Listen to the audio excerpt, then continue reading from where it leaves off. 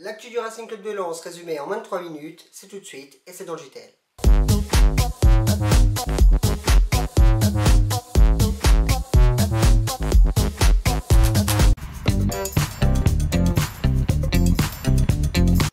Ce jeudi soir, le RC Lens a publié un communiqué au nom de trois responsables du club. Didier Tuilot, Jocelyn Blanchard et Didier Roudet évoquent leur loyauté envers le club et son président, affirmant que leur but est de pérenniser l'avenir du RC Lens.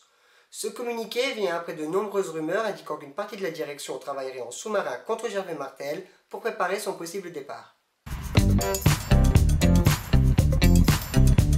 Lors de la victoire 5-1 des Bleus face au Kazakhstan, le Lensois Loïc Landre est resté sur le banc de touche et n'a donc pas disputé la rencontre. Quant à nos deux jeunes joueurs des U19, Christophe Rodriguez Silva et Yanis Mohamed, ils se sont inclinés face à la Serbie sur le score de 2-0 pour leur premier match de leur tournoi amical. Deux anciens Lensois ont eu plus de chance avec les face à l'Espagne, alors que Raphaël Varane était titulaire et a rendu une copie quasi parfaite, c'est Loïc Rémy qui a inscrit le but de la victoire française pour un score final de 1-0. On continue avec Raphaël Varane qui était en conférence de presse aujourd'hui avec l'équipe de France et qui a évoqué son club formateur, le RC Lens. Quand ça va mal, je ne suis pas forcément content. Ils sont dans une situation délicate, mais j'espère que ça va s'arranger, que le club pourra poursuivre son évolution et se maintenir. Je pense qu'ils peuvent se maintenir, ça passera par un bon état d'esprit, il y a là-bas pas mal de jeunes qui ont envie de progresser, des joueurs d'expérience et un public formidable. Ils peuvent y arriver.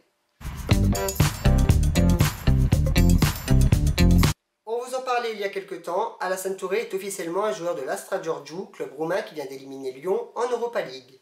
Le club a en effet officialisé la venue de l'ancien latéral lensois sur son site internet.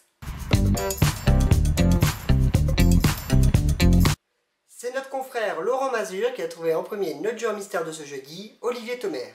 Aujourd'hui, un nouveau joueur, c'est parti Je vous rappelle que pour jouer, c'est très simple, la page Facebook, le JTL, le JTL en soi, le compte Twitter, le JTL, ou via les commentaires YouTube. Mercredi prochain, le JTL fêtera sa centième édition. Vous êtes de plus en plus nombreux à nous regarder et pour fêter cela, nous allons vous lancer un petit défi. Postez une photo de vous en mode Lançois avec la pancarte La centième du JTL et remportez peut-être un magnifique cadeau, le chien sans et or. Pour jouer, rien de plus simple, postez cette photo sur notre page Facebook le JTL, le JT Lançois ou via notre compte Twitter le JTL. La réponse du grand gagnant sera mercredi lors de la centième. Quant à nous, on se retrouve lundi et allez lance